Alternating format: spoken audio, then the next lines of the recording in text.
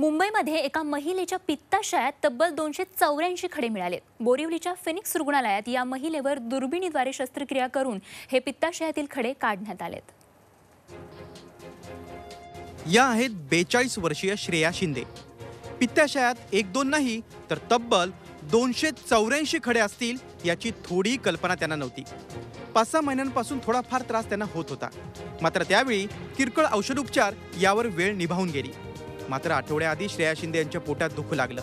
तसंच छातीत दुखणं आणि उलट्यांचा त्रासही त्यांना जाणवू लागला. सोनोग्राफीत त्यांच्या पित्ताशयात खडे असल्याचं निदान झालं.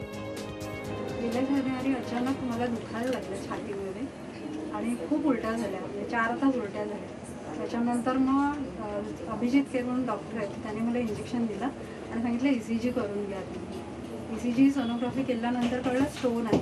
मग आम्ही अजून एका डॉक्टरांचा ॲडवाईस घेतला. मग त्यांनी यांचं नाव सजेस्ट केलं नितीन. नितीन देवटे. मग आम्ही इथे आलो यांच्या सजेस्ट केल्यानंतर हा आम्ही ऑपरेशनचा डिसिजन घेतला. आता कसं एकदम हलका हलका वाटतं. बोरिवलीच्या फिनिक्स रुग्णालयात श्रेया शिंदे यांच्यावर शस्त्रक्रिया करण्यात आली. दुर्बिणीद्वारे शस्त्रक्रिया करून त्यांच्या पित्ताशयातील दोनशे चौऱ्याऐंशी खडे काढण्यात आले. ऑपरेशनच्या वेळेला आपण बघण्यात आलं की आतमध्ये पससुद्धा भरपूर होता.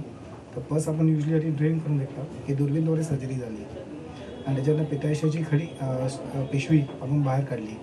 आता थोडासा त्रास झाला पण व्यवस्थित झाला ऑपरेशन आणि ज्यावेळेला ओपन केलं त्यावेळेला आपण मध्ये बघितले की एवढे स्टोन्स आहेत. जस्ट क्युरिओसिटी म्हणून आपण ते मोजून बघितले.